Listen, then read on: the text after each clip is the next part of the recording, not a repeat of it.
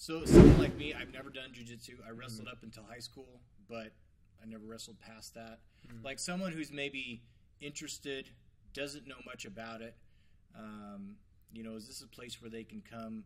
It seems like jujitsu is not something that uh, like you could get hurt very easily if you don't know what you're doing. Mm-hmm. But this is a place where you can come and I could walk in and say, "Hey, Richard, I've never done this before. I just kind of want to learn." Yeah, so of course we have we have beginners classes for for all those age groups. Okay.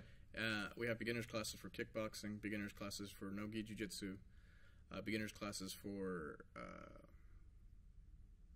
the 10 to 15 year old and, and the 5 to 9 year olds.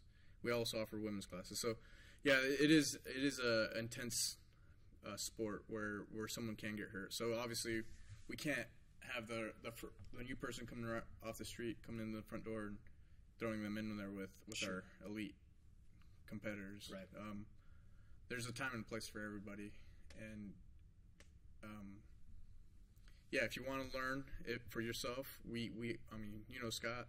Scott's uh, I told he's a he's a phenom, but but he's he's still grappling and he's in phenomenal shape. Um, yeah, so th- there's definitely a time and place for everybody. Yeah.